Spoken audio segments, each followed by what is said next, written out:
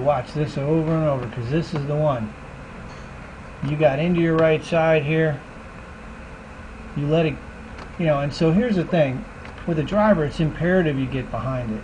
Right. You got to get into your right side, and you did real good here. See how you moved in behind it? That's really important. And you don't sway at all, so don't worry about any of that stuff. Perfect. You stayed behind it. Look at that impact. Perfect. Yeah, that was mangled. You hit that ball perfect. So you're hitting up there. You can see the club is traveling Mm-hmm. right around here. It's going up.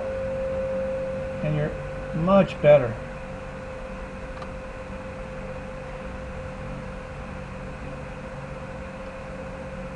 Great. So that you can see how you're behind it there. That's good. I want you to be there. Yeah.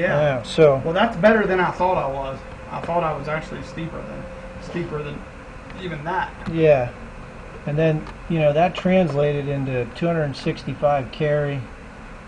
You know, spin's still a little high, but Titleist always has a little bit of high spin. Um, but yeah, I mean the path a little left, which is, you know, that's your shot. Yeah. But see, this is the right face to path relationship. Notice the path left and the face is two degrees open to the path. Right. Uh, Which is what you want. Exactly. Yes. If you get an L and an L, Now you we're got in pull. big trouble.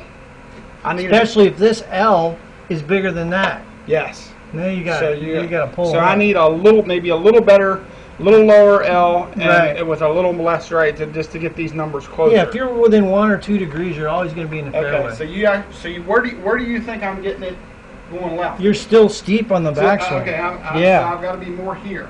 Yeah, you're still. You, yeah, I mean, So I'm thinking I'm getting the backswing